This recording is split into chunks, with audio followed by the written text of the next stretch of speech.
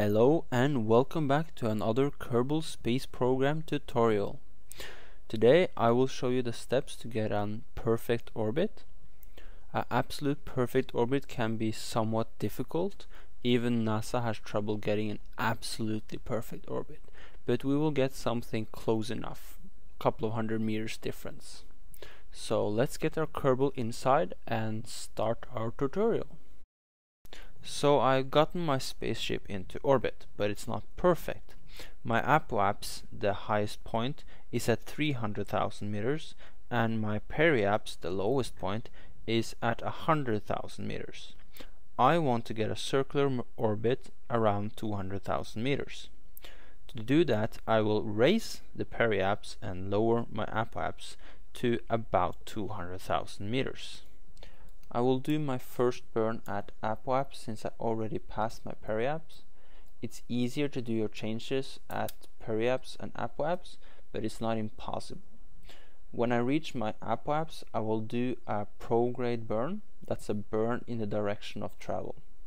When doing my burn, I will use very careful throttle control uh, because I don't want to overshoot my target.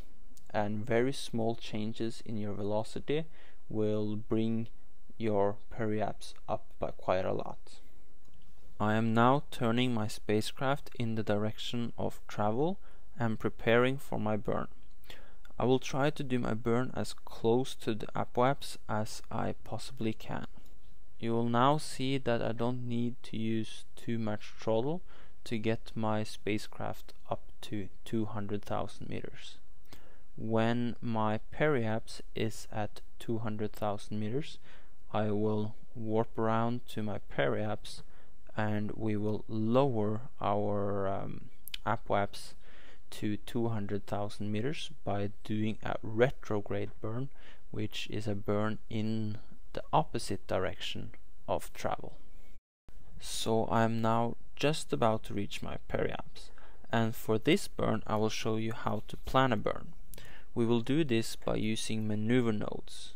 You just click on the orbital line and select add maneuver. So here you can control your burns but for this we just need the retrograde control and we will now use this carefully to get our maneuver node down to about 200,000 meters.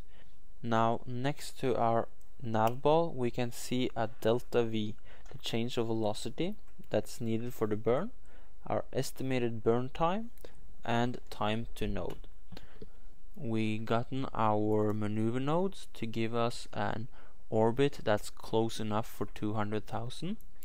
You can by small changes get it even closer, but I'm not gonna waste time by doing that now. I will now orientate my spacecraft to the blue cross that's appeared on the nav ball. That is the direction of travel for the maneuver nodes. And I will wait until we reach uh, close enough to the node and then I will do the burn very carefully and try to get it down to 200 without overshooting it.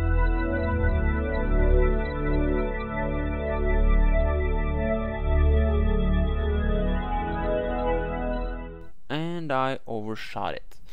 But that's not a problem. We will just turn around and find the blue maneuver node again on the nav ball and we will line up our spacecraft and we will do a slow and careful burn and try not to overshoot it again and it doesn't have to be absolutely perfect but I want to get it close enough but if you want to get your orbit very very close like 50 meters in difference. You have to go back and forth between apoapse and periapse a couple of times. But for this tutorial this is close enough. It's just a few hundred meters difference. So we now gotten our perfect orbit. It's circular around Kerbin and it's good enough for most purposes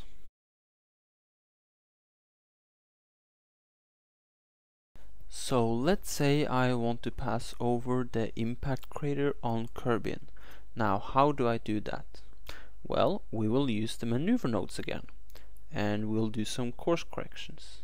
I am pulling up on the maneuver node to see where my course will take me above the impact crater and you can also click in the middle and be very careful not to close your maneuver nodes or delete it but you can click in the middle to drag it around and find the perfect spot to start your maneuver.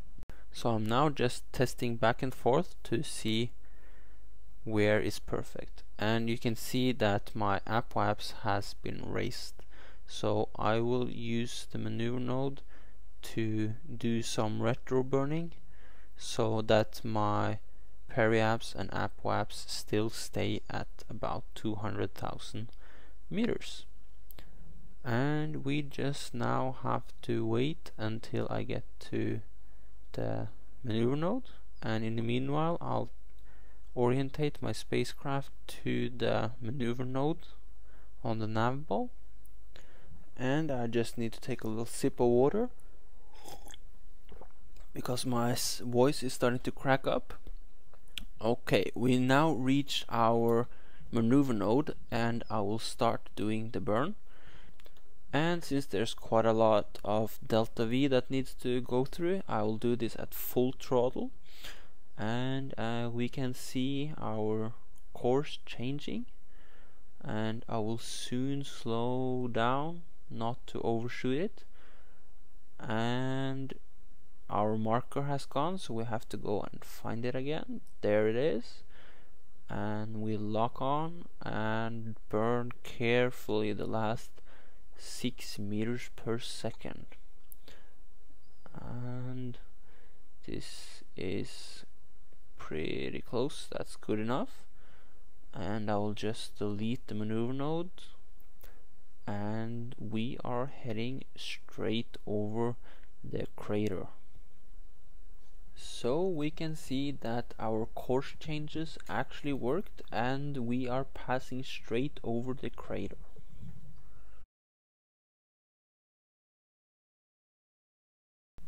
So finally I will go through a landing, just a short presentation of a landing and I will try to aim for the middle of the crater, right next to the island in the middle. And I burn until I get my orbit inside the atmosphere. And we have to take into account that the atmosphere will slow the spaceship down.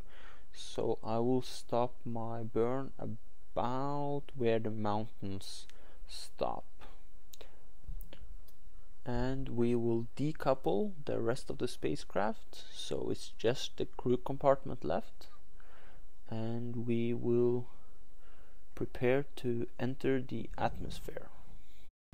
So we just hit the atmosphere and shortly the spacecraft will start to slow down. And there you can see the speed going down. I will just warp this up a little bit so we don't have to wait so long. And there goes the parachute and it looks like I'm pretty much on the marker on landing next to the island. And I'll just skip a little bit forwards. And we have splashdown and I have to say that I'm pretty happy about where the spacecraft landed. I wanted to land close to the island and in the middle of the crater and this is probably as close I could get without doing more fine work. So I hope you enjoyed my Kerbal Space Program tutorial. Please leave a comment and I'll see you later guys. Wearing Storm signing off.